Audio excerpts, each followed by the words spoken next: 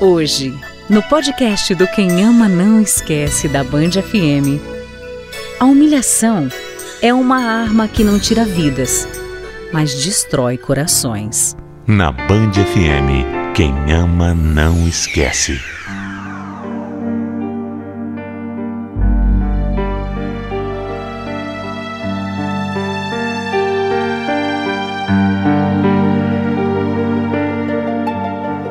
Infelizmente, é com os tropeços da vida que a gente vai aprendendo a sair do chão.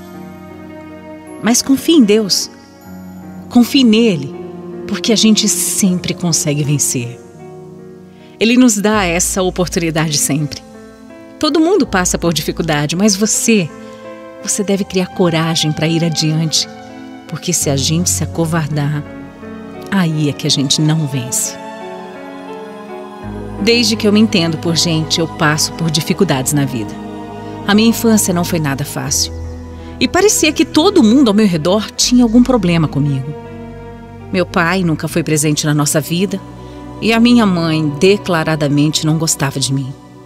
Ela dizia, inclusive, que eu tinha estragado a vida dela, já que ela foi mãe solteira, e que, por minha causa, ela perdeu a oportunidade de encontrar um outro marido. Juro, uma mãe dizendo isso para a filha não é legal. E isso acontecia a todo momento. Sempre que ela podia, ela jogava isso na minha cara. Fora isso, ela me tratava que nem um lixo. Eram muitos palavrões, xingamentos. Quando eu era mais nova, eu não entendia bem. Mas com o tempo eu fui entendendo o que era aquele monte de coisa que ela me falava. Eu nunca soube o que era realmente um amor de mãe. Eu me sentia, na verdade, como uma pedra no sapato dela, um problema, um encosto. Então, desde cedo, eu percebi que era só eu por mim mesma. Além de tudo isso, a minha família tinha um outro problema também: o vício da bebida. Esse vício afetava tanto a minha mãe quanto o meu irmão. Minha mãe bebia demais e aí era só vergonha. Ela fazia escândalos, me fazia passar muita vergonha. Era difícil para mim. Aí o meu irmão, com esse exemplo, foi pelo mesmo caminho, desde novinho. Quando eu dizia para minha mãe que ela tinha que ajudar o meu irmão, ela dizia que eu que cuidasse deles, que isso era um problema meu. Bom, com uma vida dessas, eu nem preciso dizer que eu sempre tive pouquíssimos amigos. Minha mãe até maltratava as pessoas. Quando eles iam chegar no portão para me chamar, ela já vinha de um jeito super estúpido. E sabe o que é pior? Isso era só comigo. Os meus irmãos tinham outro tratamento por parte dela. Só eu que passava por tudo isso. E todo esse desprezo vindo da pessoa que mais deveria me amar. Isso fez com que eu me tornasse uma pessoa de fachada. Eu me sentia um nada. Eu me sentia incapaz de qualquer coisa. Achava que eu nunca ia conquistar absolutamente nada nessa vida. Meu maior sonho era casar era construir uma família, cuidar da minha própria casa. Eu não tinha nenhuma grande ambição na vida. Eu só queria uma vida tranquila. Será que era pedir demais? Eu tive dois namorinhos que não duraram muito. Até que, aos 18 anos, eu conheci o Mário, que morava ali perto, ali mesmo no bairro. Ele parecia ser uma excelente pessoa, atencioso, amigo, talvez fosse a pessoa certa para mim. Logo, a amizade do Mário virou uma válvula de escape. Quando as coisas ficavam muito feias em casa, ele me amparava, cuidava de mim, me protegia.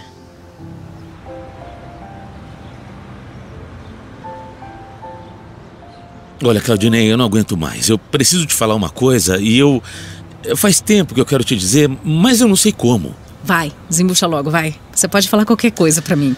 É que eu, eu não consigo mais ser só seu amigo. Eu, eu quero você. Lembra daquele sonho que você me falou de formar uma família e tudo mais? Então, a gente pode realizar esse sonho.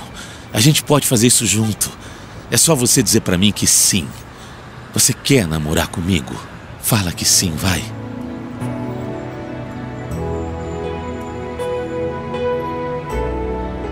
Claro que eu aceitei na mesma hora. E a partir daquele momento não importava mais o que passava dentro de casa.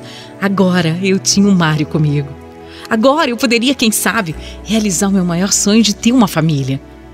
Eu nem acreditava que alguém realmente gostasse de mim.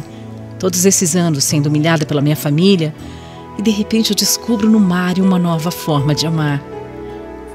Mas era bom demais para ser verdade, né? Com o tempo eu descobri um lado do Mário que eu não conhecia. Não demorou muito para que ele mostrasse quem era de verdade, para que ele colocasse as asinhas dele de fora. Primeiro que na família dele também tinha esse maldito vício que destrói tantos lares.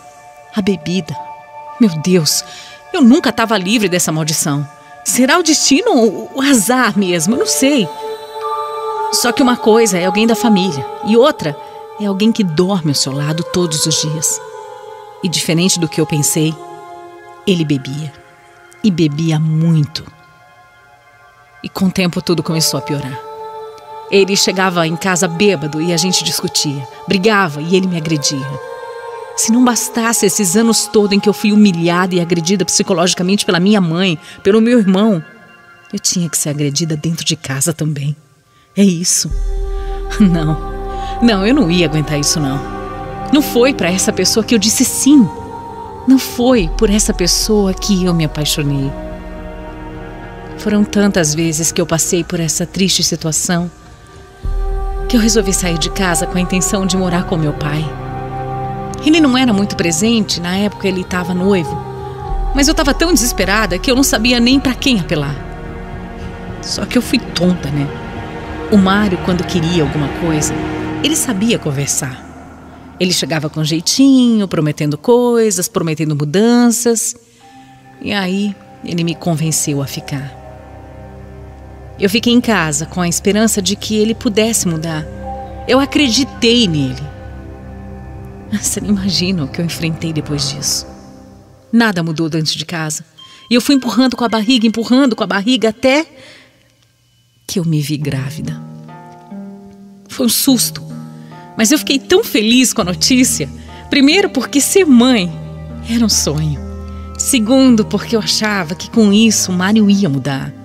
A chegada de um filho é sempre tempo de mudança, né? Não, eu fui ingênua. Claro que nada mudou. Ele continuou com as agressões. Meu marido chegava bêbado e me batia. Simples assim, me batia. Como eu disse, a minha vida nunca foi fácil. E eu ainda teria mais coisas para enfrentar. A minha filha nasceu. Márcia foi o nome que eu escolhi para ela. Minha bebê nasceu bem mas muito fraquinha. E sem nem eu saber o porquê, com apenas dois meses de vida, ela foi internada. E depois de internada, ela nunca mais saiu do hospital. Eu perdi a minha filhinha com dois meses de vida. Parece que nem para ser mãe eu servia. Foi um baque tão grande para mim e eu acho que eu só fui recuperar mesmo, sabe, dois anos depois, quando eu engravidei de novo. O meu coração se encheu de esperança e dessa vez ia nascer a Ângela. Só que ela nasceu com as veias do coraçãozinho entupidas. Ela tinha crises, falta de ar. Era uma tortura aquilo. Eu ficava despedaçada. E aí, aos sete meses, ela também não aguentou a minha segunda filha também faleceu. Eu, eu só queria morrer junto. Porque eu não aguentava mais tanto sofrimento na minha vida. Por que, que tudo na minha vida tinha que ser assim, tão difícil? Por que, que Deus quis levar as minhas duas menininhas tão cedo? Eu sofri tanto, tanto. Nem nessa fase as humilhações do Mário pararam e eu, confusa, Ficava terminando e voltando com ele o tempo todo. Ele me maltratava e eu me separava. Aí ele vinha com aquela conversinha e eu voltava de novo. Nessas idas e vindas eu tive três filhos com Mário. Eles eram a minha alegria e motivação para viver. Mas as brigas e agressões do meu marido continuavam, do mesmo jeito. Por que, que eu ficava com esse homem? Eu não sei dizer. Então eu me separei e prometi para mim mesma que daquela vez não teria volta. Eu jurei. Eu jurei que nunca mais eu ia voltar para ele. O Mário ficava me botando terror. Dizia que eu ia ter que vender meu corpo para me sustentar. Mas eu ia mostrar para ele que não. Eu ia mostrar que eu poderia sustentar a mim e aos meus filhos. Eu ia cuidar dos três. Eu ia mesmo. Só que, para minha decepção, um dos meninos se revoltou e disse que queria o pai perto. Disse que eu estava destruindo a nossa família. Aquilo me tocou demais. E aí eu fiz a mesma besteira de sempre. Eu voltei para o Mário pelos meus filhos. Sabe, o meu marido não é assim uma pessoa ruim. É a bebida que estragava ele. Toda vez que ele bebia, ele se transformava. Sóbrio, sóbrio não. Sóbrio, ele era um homem bom. Foi aí que, mesmo cuidando e tomando remédio, eu engravidei mais uma vez. Só que aí foi diferente. Eu não aceitei mais as agressões e eu criei coragem. Não ia ter mais nada que me impedisse, nem meus filhos, já crescidos, e nem aquele que estava na minha barriga ainda. Com quatro meses de gravidez, depois de outro ataque do Mário, eu me separei de novo.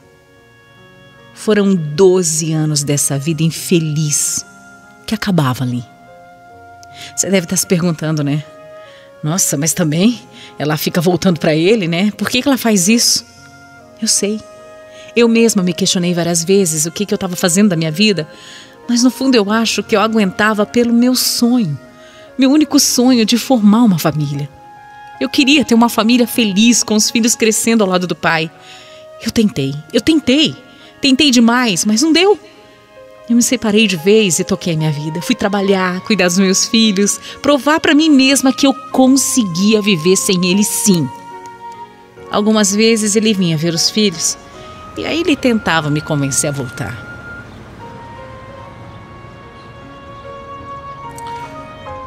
Claudinha, sempre que eu olho para você, eu eu lembro da gente.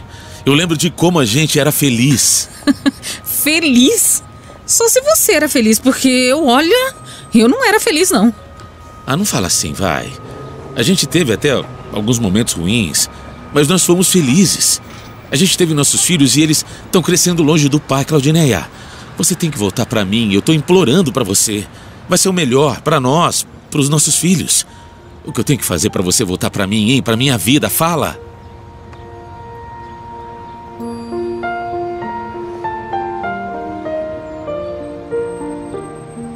Só que eu estava finalmente vacinada, né?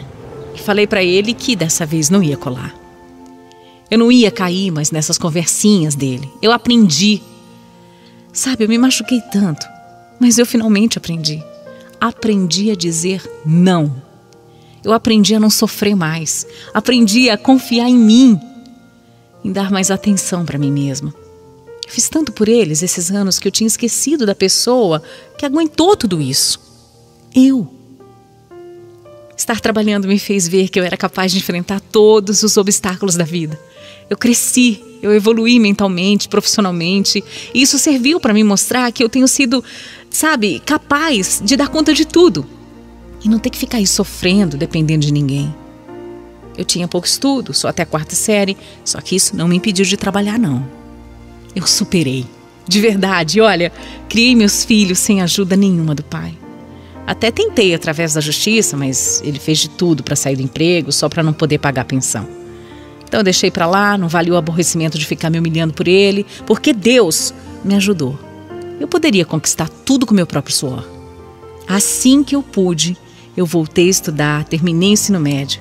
E aí eu tinha mais uma conquista para contar. Eu ainda tenho algumas lutas a vencer, problemas corriqueiros do dia a dia, mas olhando para trás, eu vejo que eu tenho, tenho tanta coisa para agradecer. Olha, foi difícil, mas eu venci. Ah, e quem é vivo sempre aparece, né? Às vezes o Mário fala comigo, mas quando ele soube que eu e os meus filhos estávamos vivendo bem, conquistando as coisas, ele logo veio todo arrependido fazer um discurso lá em casa que para mim não cola não. Olha, meninos, a mãe de vocês é uma grande mulher. Deem, deem muito valor a ela, escutem o que eu estou dizendo, deem muito valor a ela. Eu não fui um bom marido. Eu não, eu não soube dar valor. Pois é, isso mesmo, não soube mesmo. Aí você perdeu, né? Me perdeu pelo seu vício. Você me trocou pela bebida, Mário. É verdade, eu perdi. Eu perdi mesmo, mas, mas quem sabe? Ó, olha aqui, meus filhos. Por favor, prestem atenção no que eu vou dizer. Quem sabe no futuro ela, ela possa me perdoar, né? E eu torço muito por isso. É o que eu mais quero na minha vida. O perdão da mãe de vocês.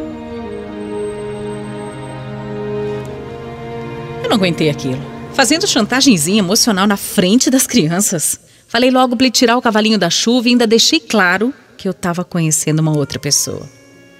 Eu segui em frente. Fiquei três anos e meio só com os meus filhos e depois eu me casei com um bom homem. Esse me respeita. Não me impede de fazer o que eu sempre quis fazer. Juntos nós aprendemos a superar todas as dificuldades da vida. Finalmente eu era amada e respeitada por um homem decente. Eu fiquei um bom tempo sem ter notícias do Mário. Mas aí, em 2006, ele teve um derrame e ficou internado por uns dias. Eu até fui visitá-lo. Ele até tentou falar comigo, mas ele não conseguia se comunicar. Ele perdeu tudo pela bebida. Dias depois, ele acabou falecendo. Pelos meus filhos, eu até fui ao velório. Era triste, mas com tudo isso eu tive a sensação de dever cumprido, porque mesmo com tudo isso que eu passei, eu nunca coloquei os meus filhos contra ele. Como dizia, ele não foi um bom marido, mas. Mas apesar de tudo, era pai dos meus filhos e eu sempre quis que os meninos o respeitassem. Hoje eu posso dizer que eu sou feliz e eu vivo em paz. Realizei aquele velho sonho de ter a minha família, uma família grande, unida. Mesmo que haja diferenças aí de opiniões, todos acabam se ajudando. São quatro filhos, dois genros, duas noras, 18 netos, três bisnetos e uma bisneta. Eu amo todos eles, todos, eles são os meus orgulhos. Algumas vezes, quando estamos reunidos, eu vejo o amor que tem no meio de nós, sabe? Eu vejo os meus netos, bisnetos brincando. Quem ama, não esquece. Band FM.